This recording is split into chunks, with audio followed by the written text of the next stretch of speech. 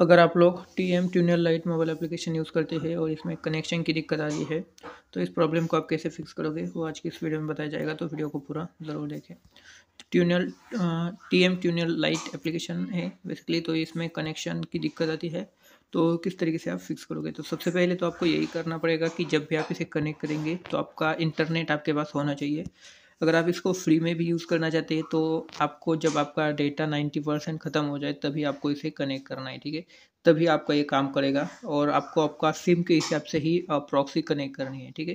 यहाँ पर अलग अलग सिम के हिसाब से प्रॉक्सी दी गई है। अगर आपके प्रॉक्सी नहीं है तो बाकी आप दूसरी भी ट्राई कर सकते हैं जो फ्री इंटरनेट वाली है।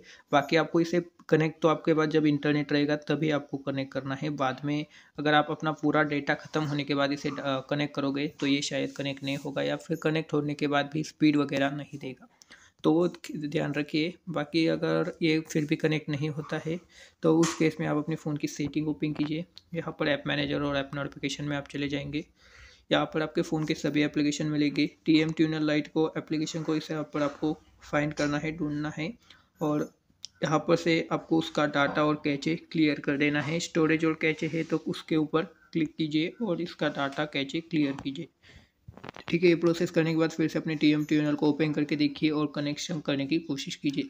सबसे पहले कनेक्ट करने के टाइम आपको जो है फ्री वर्जन और ऑटो सर्वर को ही कनेक्ट करना है। ऑटो सर्वर को आप कनेक्ट कर लीजिए।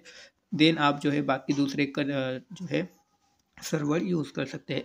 कनेक्शन के टाइम ध्यान रखिए आपका वाईफाई अगर ऑन है तो वाईफाई को बंद कर दीजिए या फिर फ़ोन का लोकेशन ये दो अगर ऑप्शन इनेबल है तो इन दोनों को आपको डिसेबल कर देना है बंद कर देना है। बस इतनी सी प्रोसेस कीजिए आपका जो कनेक्शन है वो हो जाएगा। या फिर अभी नहीं हो रहा है तो थोड़ा सा वेट कीजिए। कभी कभी इसमें आ, मतलब काफ़ी सारे लोग जो है एक ही फ्रॉक से एक ही सर्वर यूज़ कर रहे हो तो वो सर्वर कनेक्ट होने में दिक्कत आती है।